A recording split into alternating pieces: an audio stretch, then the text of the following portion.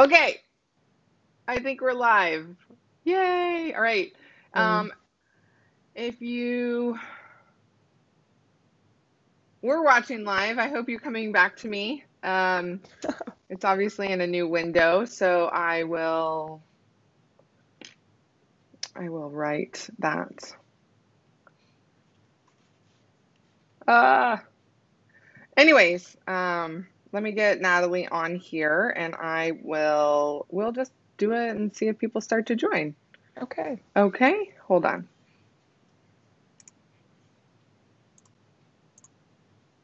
Hey Natalie, how are Hi. you? I'm good. I'm good.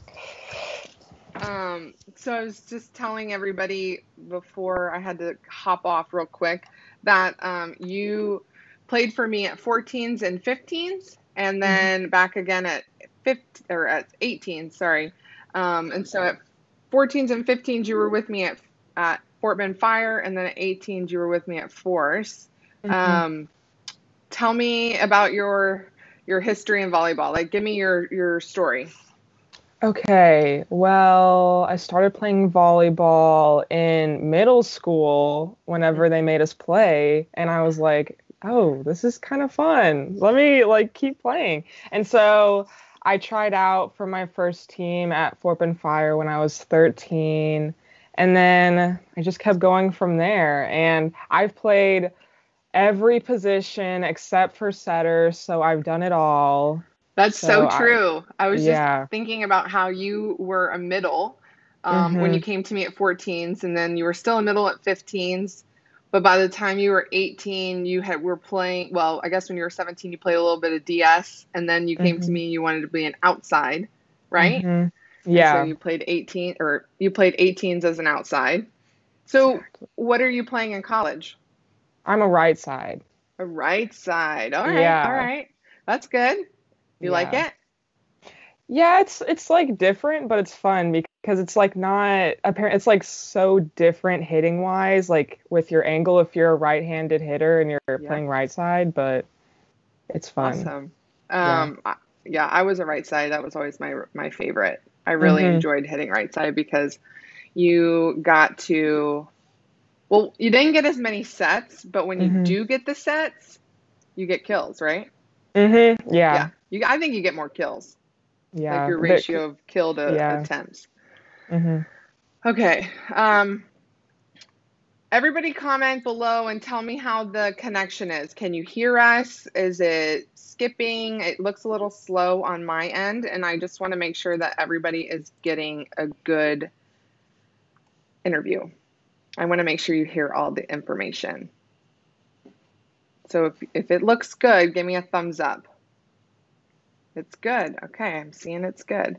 All right. Um, so you started in seventh grade at Garcia Middle School, correct? Mm-hmm. And then you went to play on um, in high school at Austin High School in Fort Bend.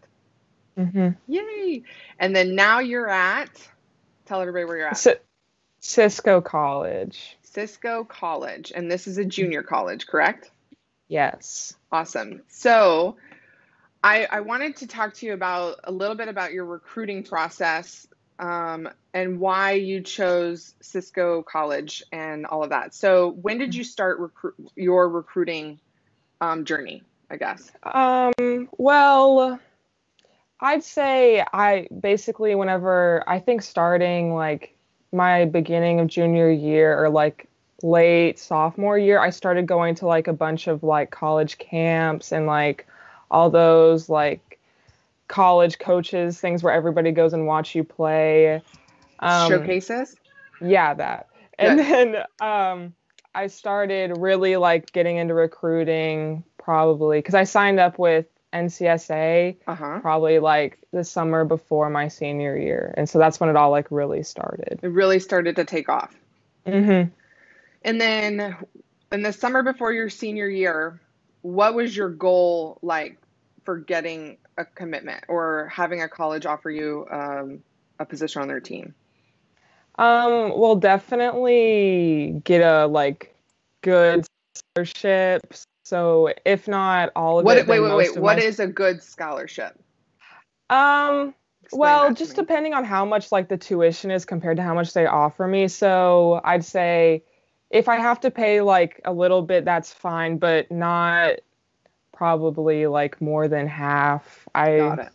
so that's why I probably didn't want to play at a D3 because like my grades were good, but I just didn't know if they were good enough for like a whole like academic scholarship. Right. So that's kind of was ruled out because Okay. yeah, I really and so wanted. JUCO was kind of the like the same level as D3, but you were able to get mm, athletic money. Yeah, and if not the same, because like I feel like it's really surprising how good you would think you wouldn't think JUCOs would be like as good just because you know it's a JUCO, but Right, the they're actually I- I yeah, like you wouldn't believe like the first tournament I ever went to and played in, it's like crazy how honestly like how tall these girls are, how like good they are. You really wouldn't expect it. So if honestly like we could play at the same level as a D3. There are like really good JUCOs that could like compete with a D2, just Yeah. stuff like that. Yeah. Awesome. So you think you think you uh, went to Cisco College and you're still getting challenged in volleyball, mm-hmm. right? Definitely, yeah. It's not like something that you're not going down a level by doing No, that. definitely Good. not. Yeah. Awesome. And so when did you commit? Um, I committed November of my senior year. So you committed before club season. Mhm. Yeah. I remember that. Do you regret doing that? No, I because I love Cisco, so even if there were other schools that like took interest in me later, I it's Because you did Yeah. have other schools interested in you during club season, didn't you? mhm. Yeah. Um, but you felt like you had a weight lifted off your shoulders once you made a commitment. Yeah. Yeah, one And so you just got to play kind of for fun and to get better, not all Mhm. the stress about college. Yeah. Good. Um, so you're a sophomore now at Cisco College. And Mm. yes, 2020 has been, you know, Yeah. awful. Well, but yeah.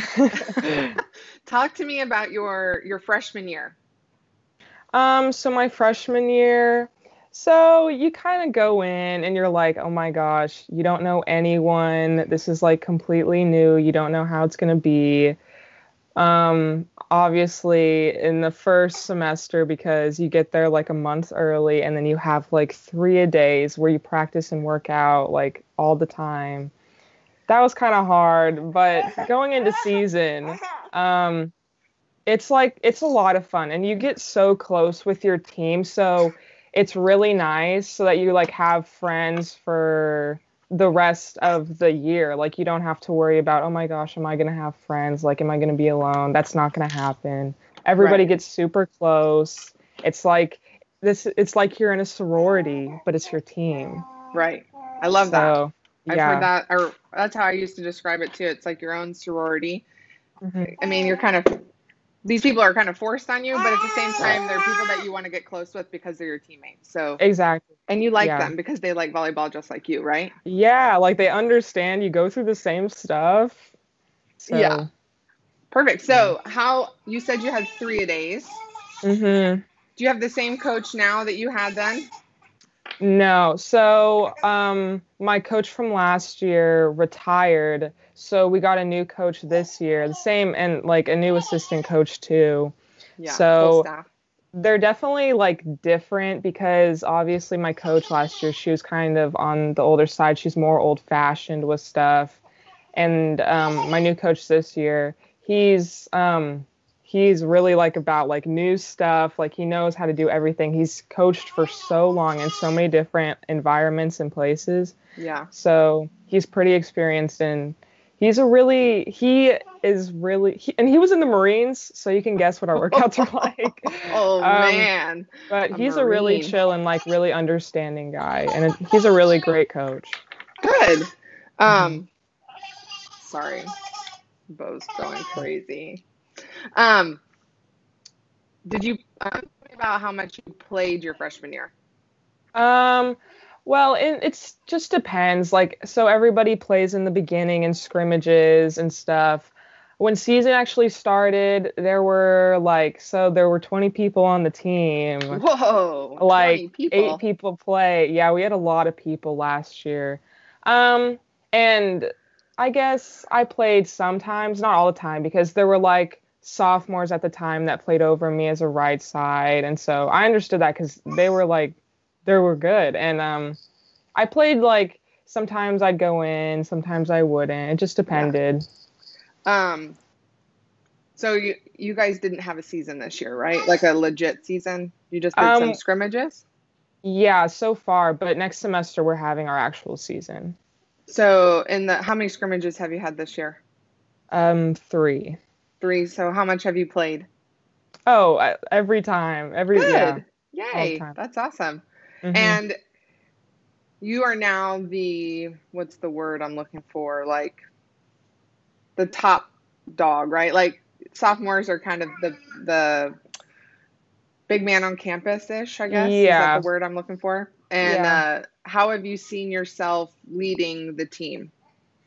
Oh well, it like all yeah, it all starts from like warm ups to like during workouts when everybody's like struggling and you're like, okay guys, come on, we can do it. Um, putting up the net, like it's and even like just on the court, because I think there it is different for if you've what you know what to like playing in a college game is different than a high school game. So can you, you can like really tell the um okay so i feel in high school it's just a lot different because you kind of have people from it's not all you're you're not all at the same level. Like you have a bunch of different players at different levels because they're like younger players and stuff. It doesn't even matter yeah. if you're on varsity.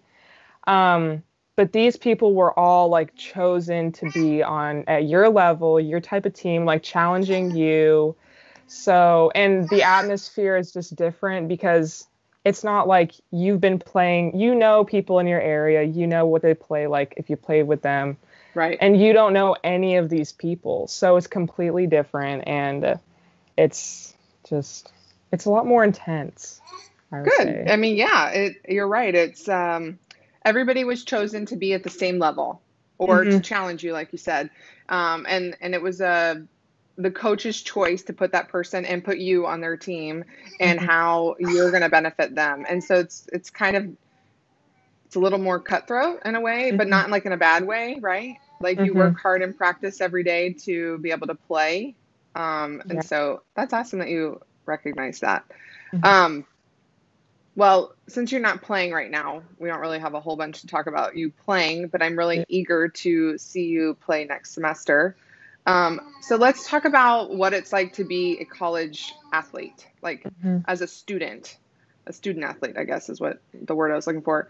Um, how many classes do you take or credit hours? Um, so you're required to take 12, but no one really takes 12. Honestly, you'll probably be between like 14 to 18, most likely, something like that. And so let's just say 15 hours. How many classes is that? Um, it's probably going to be like three or four. Oh, that's yeah. it? Yeah. Probably like most likely four, I'd say. Yeah. Okay.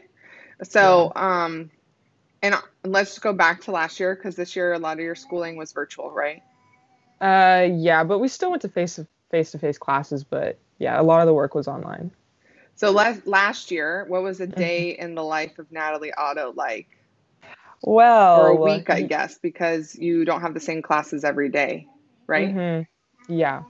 Um, so you usually have your classes. You have like Monday, Wednesday classes, and Tuesday, Thursday classes because we don't have class on Friday, which That's was nice. definitely a perk. It was so nice. That's how it was um, when I was um, in college. Yeah, it's great. But um, usually you either have like an 8 a.m. class because you have to practice in the afternoon, so you can take no afternoon classes. Right. So you're usually getting up 8 a.m. or 9:35 are your usual classes. You probably have one or two classes that day, depending on your schedule. And then uh, you go to lunch, and then after lunch, you have practice. What time is practice? practice? or a game? Um, last year our practice was at like 1.30, but how this year it's a different time. But how um, early are you at the gym?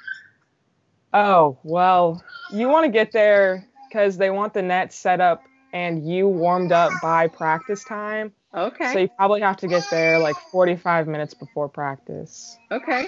Do Mhm. you go to the training room before practice? Um, only if I mean if you're like hurting or anything. I am not usually that bad. I've never really had a problem with injuries, but I Yeah. know a lot of people do, and especially you get ice after. And they take care of you, right? Like if Mhm. not the not so much if you're injured, but more like you know you're sore from 3 a Mhm. days or whatever. You can go in there Yeah. and they'll take care of you. Mhm. Yeah. So they're constantly looking out for your health and how Yeah. because they don't want you to not play. Yeah, exactly. Yeah, which is really nice. I always, I mean, hmm, I lived in the training room. But one because I liked stim, two because I liked heat, and three I like to get my ankles taped instead of wearing ankle braces. So um, yeah, I was always in there. But um, that's good that they're always keeping track of you and knowing that you're okay, and that's really great that you're not injury prone, so you're out of there most of the time. Um, during preseason or I guess, do you guys lift weights during season?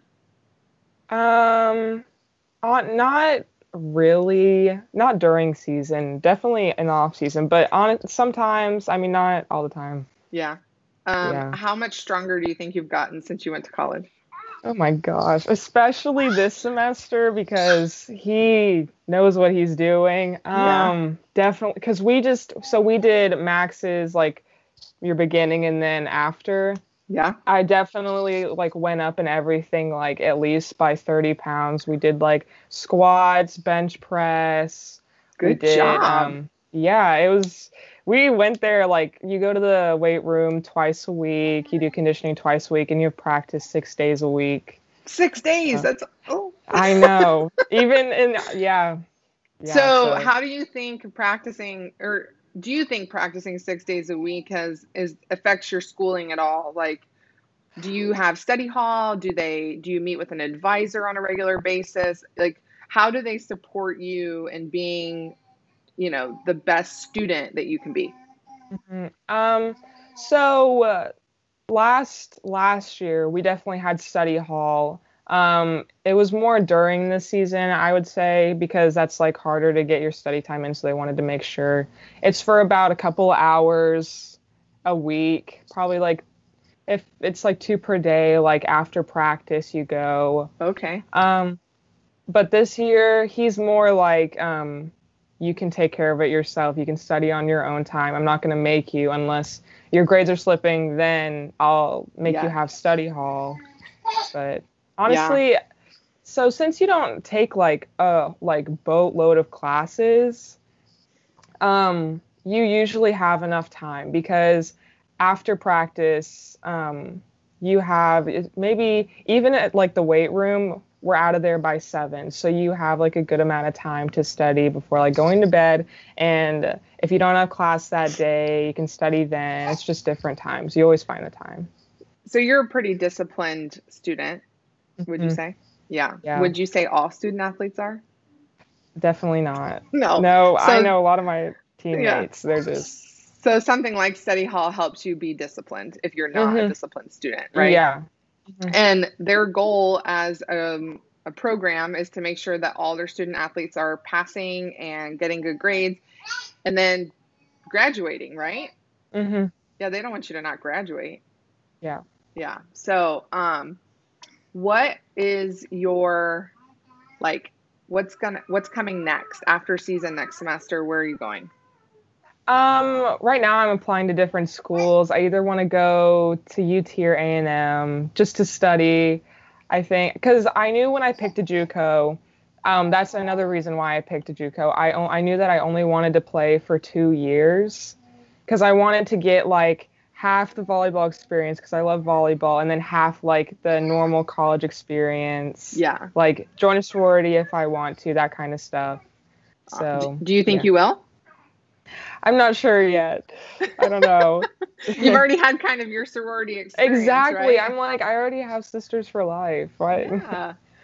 So, yeah, when you went into this to the JUCO situation, you knew like I just want to play volleyball for two years, Mhm. and then I want to go to big time university. I want to do the big time school stuff. I want to go to the football games. I want to be Yeah. an adult and in college and living in a city or at A&M or whatever. Mm-hmm. So I love that. Uh, that's what I tell a lot of athletes. I'm like, you can do both. You can yeah. You, you can go to JUCO and play because you love volleyball so much, at least for two more years, and then you can transfer over and do, um, you know, just being a college person. Like you don't have to be, you don't. I don't know. You don't have to do that for four years. Yeah. Um, so do you think being a college athlete and then transferring into a university that will help you be more successful um, at the big time university, like having the ground that you did as a, at a as a student athlete? Um, yeah, I think so. It'll make you more disciplined because you were able to study when you didn't have all this free time. Now you have all this free time. I think it'll even help like if you want to keep working out, like you already know all this stuff and if you um even want to play like on the club teams at a university, like you're even in like a better situation for that because you might even be like the best one on your club team at That's your true. university. Yeah, I forgot about club. I don't. I I mean I um I'll explain that. Uh, the big universities have the obviously the volleyball team that the school pays for them to go or to play for. Um, but then if you you know let's say you can't play at Texas or you can't play at Texas A&M, you can go and play on their club team and you mm-hmm. pay a small fee and they run two seasons. They run a season in the fall, if I believe, and then a season in the spring. And um, you you make a team, you play, you like travel to all these other universities to play other universities teams, um, and it's it's it's just obviously not as much of a commitment, but it's an opportunity to continue playing volleyball at a better level than um, playing for the intramural league or whatever mm-hmm. through the rec center. So mm-hmm. I forgot about club team. That's awesome. Um, mm-hmm. is, do you think you're going to try and do that? Um, I haven't decided. But it's an option. Decided. Yeah, definitely. Yeah, and like awesome. all the schools that I'm applying to, like honestly, like most of the schools in Texas, their club teams are really good. Yeah, we, at uh-huh. Texas State, the girls were really good, um, and they mm-hmm. actually had a boys club team too, which was mm-hmm. fun. I like tried to coach them when I was a freshman, and that was a joke, but it was fun because I traveled with them to A and M, and you you I saw these big tournaments with, and again, I was not exposed to a lot of men's volleyball at the time um, mm-hmm. until I went to college because in Houston, boys just don't play. Um, mm-hmm. and so it was fun to the girl and the girls team and the boys team uh, they did a lot of stuff together. I don't think the girls' team liked me too much because I was on the actual volleyball team, but um, they didn't like me being around. But yeah, it was it was they were it was fun time, and I wasn't even a, like on the team. Uh, so really quick, I mean, I'm just gonna put this out there. If anybody has any questions for Natalie, uh, she's more than happy to answer. You can type them in the chat below while we talk for like another couple minutes. Um, and then I'll ask her because I can see them, she can't see them, and I'll ask her the questions if you have any. And then Natalie, what do you want to major in? Um, big time, or like what? How does the process work when you graduate you JUCO and go to university? Like, talk to me a little bit about that. Mm-hmm.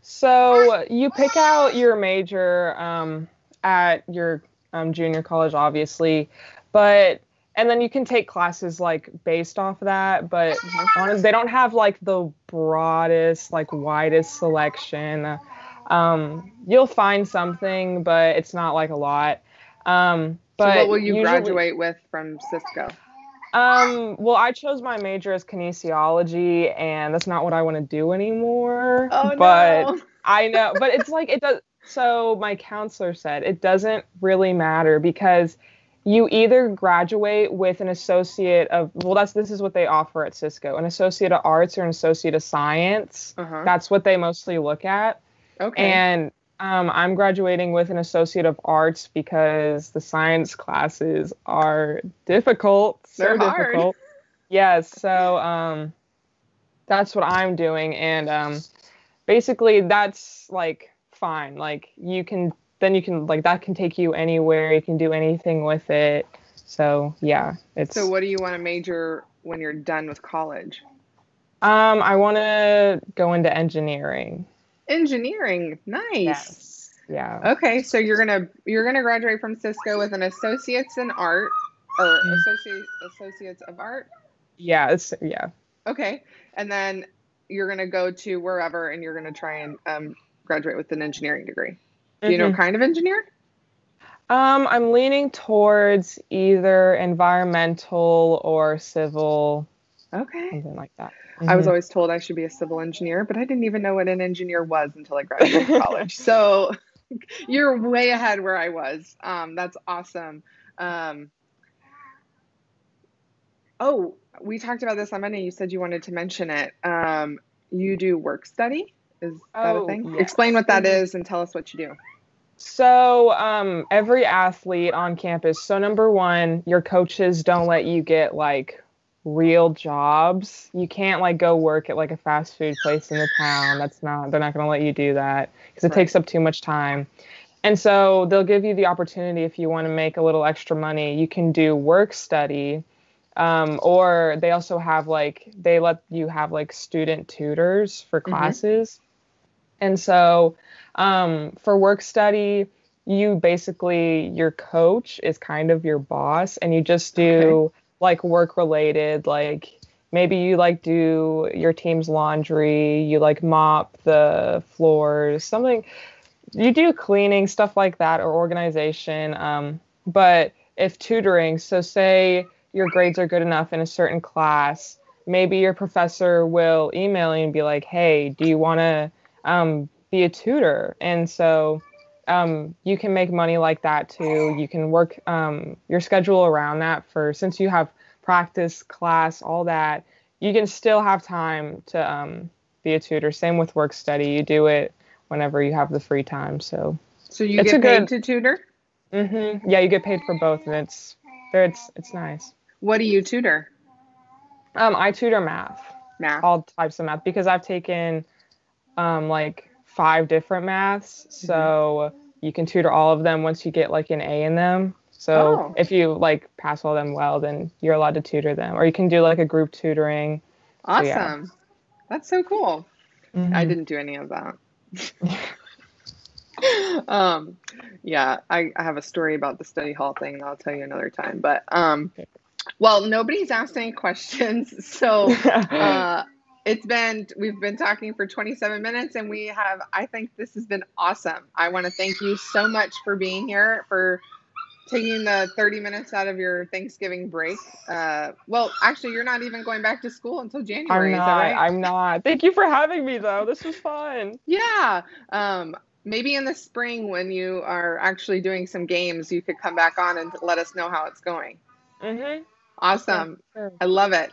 Um, well, have a great gloomy Saturday, unfortunately. um, and um, stay safe. Yeah, you too. Thank you. You're welcome. Talk to you later. Bye. Bye. So that was Natalie, and uh, how awesome was that? I loved it. She is a great girl. I have known her for so long, and um, her mom and I are friends now. And I just love making those relationships with the girls that, you know, to me last forever. And so hopefully, when she's done playing, or not playing, but being in college, she'll come home and get a job in Houston and want to coach for Force. Uh, she is a diehard volleyball um, player. She loves volleyball. And so um, hopefully, she'll be a part of Force family once again. And I want to thank you all for joining me live on this Saturday after Thanksgiving. And I will see all of our club players tomorrow for pictures. And um, then I'll see everybody at the at practice on Monday. All right. Thanks, guys. See you next Thursday. Yeah, see you next Thursday live on Facebook. Bye.